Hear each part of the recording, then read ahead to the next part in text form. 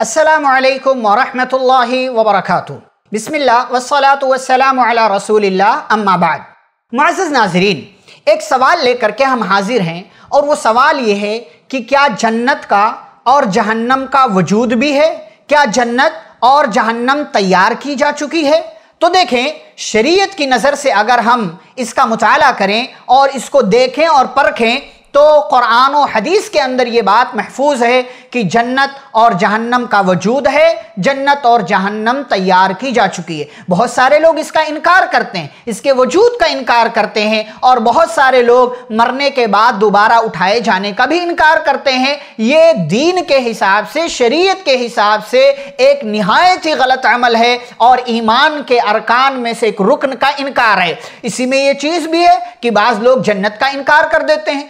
जहन्नम का इनकार कर देते हैं और सिरे से इस चीज़ को मानते ही नहीं है। जबकि हम जन्नत और जहन्नम के वजूद के लिए कुरान मजीद की दो अलग अलग सूरतों से दो आयतें आपके सामने रखेंगे। सबसे पहली आयत है सूरतुल बकरा की, आयत नंबर 24 अल्लाह रब्बुल आलमीन फरमाते हैं, जहाँ अल्लाह ने कुरान का चैलेंज पेश किया है, लोगों से कहा है कि इस जैसी एक सूरा लेकर के चले आओ, वहीं पर अल्लाह ने उसके बाद की आयत में फ़ौरन ये कहा फ़िल्लम तफ़लू वलन तफ़लू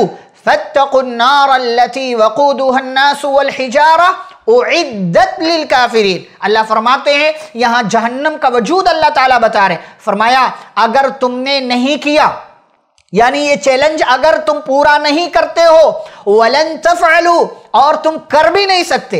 यानी अल्लाह ताला ने कहा, तुम्हारा यह दावा है कि कुरान जो है मोहम्मद सल्लल्लाहु अलैहि वसल्लम ने अपनी तरफ़ से बना लिया है तो एक काम करो कि तुम भी इस जैसी एक सूरा लेकर के आ जाओ। और अगर तुमने नहीं किया, साथ ही अल्लाह क्या कहते हैं, वलन और तुम हरगिज हरगिज कर भी नहीं पाओगे। तो क्या करो फतकुन्नार अल्लती उस आग से, उस जहन्नम से बचो।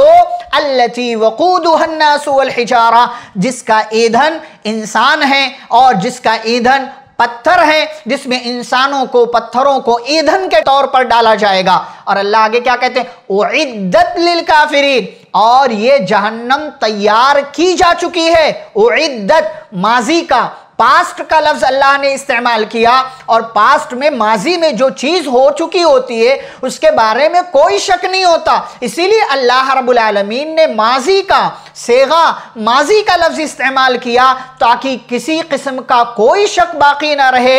इस बात में कि जहन्नम का वजूद है या नहीं है, अल्लाह रब्बुल आलमीन की सायत करीमा से मालूम हुआ कि जहन्नम का वजूद है, जहन्नम तैयार की जा चुकी है। किसके लिए? उद्दत लिल काफिरीन। काफिरों के लिए जहन्नम को तैयार किया जा चुका है। और जन्नत के वजूद के लिए अल्लाह रब्बुल आलमीन ने सेम लफ्ज इस्तेमाल किया। कहा? सूर्य आल इमरान की आयत नंबर 133 में। अल्लाह फरमाते हैं, वसारिउ इला मगफिरतिन मिन रब्बिकुम व जन्नतिन अर्दुहा समावातु वल अर्द। भागो, दौड़ो, आगे बढ़ो अपने रब की मगफिरत हासिल करने के लिए और उस जन्नत को हासिल करने के लिए जिसकी चौड़ाई आसमानों और ज़मीन के बराबर है।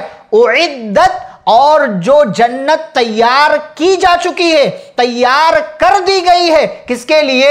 लिल मुत्तकीन, मुत्तकियों के लिए, उन लोगों के लिए जो अल्लाह की मर्ज़ी के मुताबिक ज़िंदगी गुजारते हैं। यहाँ अल्लाह ने वही लफ्ज इस्तेमाल किया और बताया कि जन्नत का वजूद है। अगर कोई इंसान जन्नत का, जहन्नम का इनकार करता है, गोया कि वो शरीयत को मुकम्मल तस्लीम नहीं करता है और ऐसे इंसान का ईमान शक के दायरे में है और ऐसा इंसान साहिब ईमान नहीं है। लिहाजा ये अकीदा रखना चाहिए कि जन्नत का वजूद है, जहन्नम का वजूद है। जन्नत और जहन्नम को तैयार किया जा चुका है। जन्नत मुत्तकियों के लिए बनाई गई है और जहन्नम को अल्लाह ने काफिरों के लिए तैयार कर रखा है। अल्लाह रब्बुल आलमीन हमें अपने अकायद की असलाह करने की तोफ़ी दे, जहन्नम से महफूज रखे और अल्लाह हमें जन्नत में दाखिला नसीब फरमाए। आमीन। अलैहि नबी करीम। वसलम वरहमतुल्लाहि वबरकातुहू।